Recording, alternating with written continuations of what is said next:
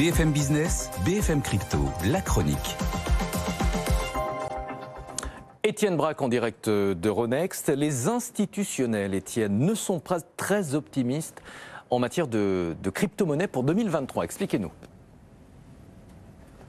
Oui, c'est en tout cas ce qui ressort d'un sondage là, qui a été effectué euh, ces dernières semaines. Alors ce sondage, il montre quand même qu'on a des investisseurs qui sont euh, particulièrement prudents pour euh, l'année prochaine, puisque sur les 140 institutionnels interrogés, eh bien, vous avez plus de la moitié qui ne se prononcent pas sur les cours de, l'année prochaine, hein, puisque vous avez un sur deux qui s'attend à une année de, de stabilisation, quand plus de 9% est sans opinion, et surtout 1,29%, donc 1 sur 3, hein, pense que la jambe de baisse de 2022 va se poursuivre. Alors comme toute enquête, il faut la prendre avec euh, du recul, hein, surtout qu'on parle eh bien euh, de la finance euh, traditionnelle. Hein. on parle bien sûr des institutionnels, donc typiquement ce sont les banques, les compagnies d'assurance ou encore les, fonds de placement, des acteurs qui sont historiquement prudents face à la crypto-monnaie. Mais cette enquête, elle donne quand même une image d'une partie du, marché hein, qui est quand même particulièrement prudent après une baisse, il faut le rappeler, de plus de 60% depuis le 1er janvier pour le Bitcoin.